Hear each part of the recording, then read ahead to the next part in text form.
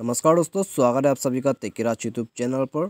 आज के इस वीडियो में मैं आपको बताऊँगा कि कैसे आप अपने किसी भी रियलमी के फ़ोन पर आप रिंगटोन चेंज कैसे कर सकते हैं।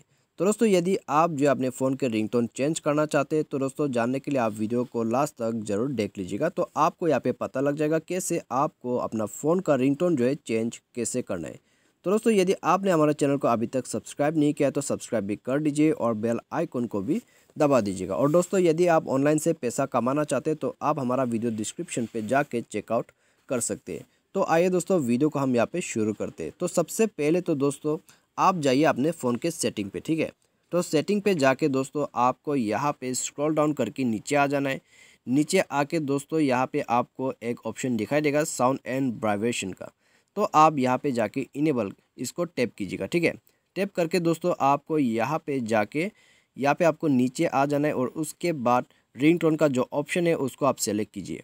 तो यहाँ पे दोस्तों सेलेक्ट करने के बाद आप देख सकते हैं, यहाँ से आप अपने हिसाब से रिंगटोन को चेंज कर सकते हैं। तो रिंगटोन चेंज करने के लिए दोस्तों आप सिंपली यहाँ पे किसी भी एक रिंगटोन के ऊपर में टैप कीजिएगा। टैप करने के बाद दोस्तों आपका रिंगटोन यहाँ पे चेंज हो जाएगा, ठीक है? तो दोस्तों, इसी प्रोसेस से जो है आप अपने रिंगटोन को चेंज कर सकते हैं आपके रियलमी के फ़ोन पे।